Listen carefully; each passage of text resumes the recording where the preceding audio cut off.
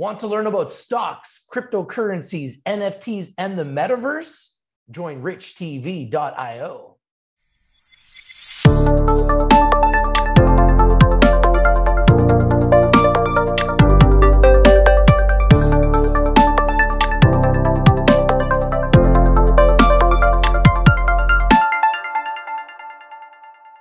Hi, how you doing today? I'm your host Rich from Rich TV Live with our very special guest, the CEO of Vox Royalty Corp, Kyle Floyd. How are you doing today, Kyle? Rich, I'm fantastic despite the markets. Uh, the company is doing well. I'm doing well. Thanks for having me back on the program. Well, we here at Rich TV Live, we love Vox Royalty Corp. And we're going to start off with the big news. Kyle, Vox announced a dividend last week. Can you tell us more about this news? Yeah, it's a tremendous milestone for our business. We've been on the program many times talking about the growth of our portfolio from a producing asset count, from an expansion perspective, growing re- revenues, quarterly record revenues, quarter after quarter. And you know, we have turned the, the corner in terms of our ability to generate returns for our investors, cash flow from operations.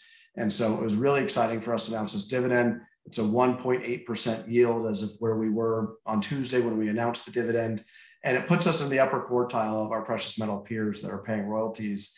And it's a it's a dividend that we believe one is meaningful, two is sustainable, and three that we would expect to to grow over the coming quarters and years. So a really exciting milestone for our business and for our shareholders.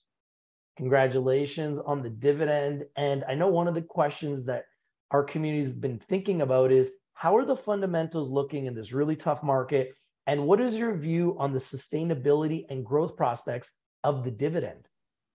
Well, one of the things that we've been speaking about a lot lately is the quality of the assets and the quality of the growth of our assets. So we've validated our ability to find royalties anywhere from a day to three years out from production and see those ass- assets come online and really crystallize the value for Vox and our shareholders. And so when you look at where we were two plus years ago, we had one producing asset, we ended up selling that asset. We now have six producing assets and we expect that to be double digits as we exit 2023, with three of the next near term producing assets that one we've already received notice uh, is essentially in production now are gold assets in Western Australia, which we think is one of the most prolific combinations you can have as a royalty company, gold exposure, along with being in Western Australia. So it's a really exciting trajectory for us. And so we also have three of our main assets expanding their production profile. So you overlay expanding production with new assets coming into production, which is that crystallization event of us then starting to get revenue,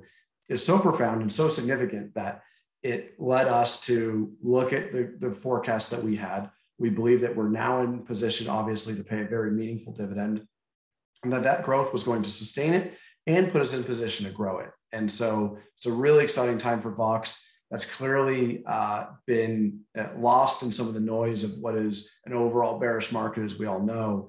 But our company in Vox continues to build very significantly, I guess, somewhat quietly, based on um, you know what our valuation is compared to peers. But ultimately, I think that's going to showcase itself for investors, and our market valuation is going to reflect the true inherent valuation that the business has at present time, and, and what it's going to also grow into. Now we're currently in a massive bear market, one of the toughest markets I've ever seen in quite some time. How is the market affecting the business right now? Well, we all know that inflation is eh, been very, very high now, and for probably a more prolonged period than well, certainly the Fed expected. Um, and the reality is, most businesses are seeing their margins contract because of the inflationary pressure on their costs they're seeing revenues and their top line growth forecast coming down. Vox is the opposite in both respects. And I think that is probably the highlight to really um, emphasize with all of your viewers is you have this market where they're lowering growth forecasts, lowering growth expectations. Vox has clearly come out. We our guidance last year was to achieve around $4 million of revenue. We achieved 4.6 million in revenue. This year we've we've doubled that revenue guidance the year after, which would be 2023, analysts have us going up significantly so as well. And we're not afflicted by the inflationary pressures. Because we're taking a top line revenue percentage on these mining operations, we're not afflicted by all the input cost inflation, the capital expenditure cost inflation. So we're insulated from what, what, what is essentially one of the biggest risks in the market today, which is the inflationary cost pressures. and we're growing. And so our margins are expanding when most industries are expected to see margins contract, growth to contract. Uh, Vox is quite the opposite. And to top that off, we're trading at what we believe is the lowest relative valuation in the sector. So we think even in these very challenging market conditions, Vox is um, is a company that investors should consider. Now, there's three things that shareholders have to look forward to. One of them is continued growth from new producing assets. Can you talk a little bit about that? Yeah. So one of you know one of the reasons why we're so confident in the trajectory of the business, and obviously why we were able to come out with our inaugural dividend last week, is the the, the revenue growth. A lot of that is coming from the expansion of assets. And so one of the big assets that we had that we acquired recently, we came on the show when we announced the transaction was the Wonmunna iron ore royalty. When we bought that, that was producing at a rate of between four and five million tons per annum. We had pretty good line of sight that that would increase we didn't know to the magnitude that it would or could increase. And now it's permitted for 13 and a half million tons. So that's 130% increase in the production profile of that asset since acquiring it. So it's on that trajectory to achieve those results. And so we're really excited about that. The other asset that we've talked about on the program as well is our asset over uh, what is now the largest heap leach project in all of Western Australia. That asset has undergone an expansion to make it so. And so we will start to see the benefits of that asset and its production profile and the revenue to Vox likely over the next quarter or two, and then going on from there. So we're really excited about that. And then, as I mentioned, we're at six producing assets now. We have very good line of sight on another three to four coming in in the very near term, and then ultimately double digits as we get closer to exiting 2023. So it's very, very profound and significant growth for our business and our shareholders and it's only amplified by the fact that we're not exposed to many of the inflationary cost pressures that most industries are. Second one was the expansion of in production assets, which you touched on a little bit. Can you explain to us what that means in production assets? Yeah, so those are the assets that are already producing minerals and producing revenue to Vox. So we've seen a, a, tremendous amount of expansion in those assets. So they were already producing, now they've undergone an expansion to produce even more metal, even more revenue. And one of the things I would highlight within that is, you know, we've talked about the market being tumultuous. We've talked about the challenges of inflation, but metal prices, when you price it in Aussie dollar terms, which is where a lot of our assets are, we believe it's the best mining jurisdiction on the planet, Western Australia in particular.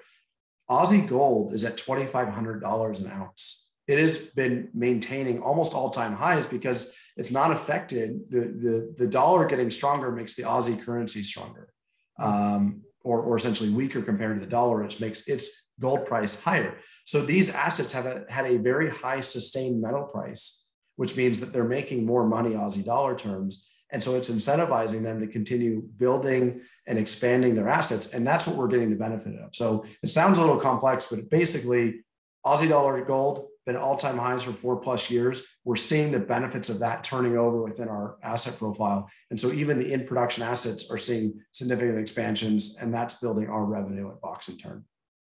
And Kyle, can you give us an update on the potential for the NASDAQ listing? Yes, look, so we filed a 40F, which is kind of the gating item with the SEC uh, back in late June. And we believe we're very close. We believe we, we hit every qualification to be on the NASDAQ. And I would expect that to be coming in the very near future and, and something that we're excited about and believe will be a very meaningful catalyst because, Rich, Vox was built for the generalist investor. As we've talked about before, the investor that's not the mining engineer or the geologist that wants exposure to commodities and wants to find the right ways to get that exposure in the best risk adjusted format. We believe that's royalties. And when royalty companies do that right, like Vox, we believe those companies outperform and generate the returns investors should expect. You're seeing that with our dividend. The NASDAQ is really us coming full circle because those are the institutions and those are the investors that we were built to serve um, and create value for. We've had some of the who's who and most notorious and well respected mining investors on the planet become shareholders of Vox and we're privileged to have their support and, and then be shareholders of us. But ultimately, what we were built for was for the generalist investor and the NASDAQ listing. I believe that's going to open us up to the audience that we're actually truly solving the biggest problem for. And that's how you get the right exposures and commodities. And with what I think is coming down the road, it's going to be what I think is a very, very good environment to be a royalty company like Vox. I agree. I think this is a great time for investors to look at Vox Royalty Corp. Take a look at the symbol here in Canada, VOX. In the United States, it's VOXCF.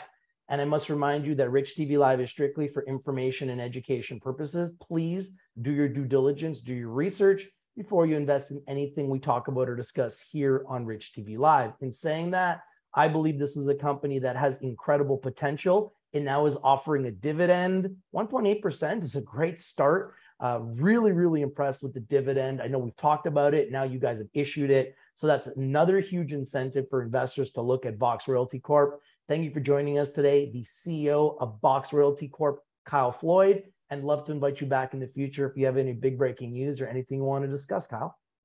It'd be my pleasure. Thanks so much, Rich. Thank you for your time today. If you're not winning, you're probably not watching. Thank you for watching, everybody. This is Rich from Rich TV Live with the CEO of Vox Royalty Corp, Kyle Floyd, saying, Have a nice day. We'll see you soon.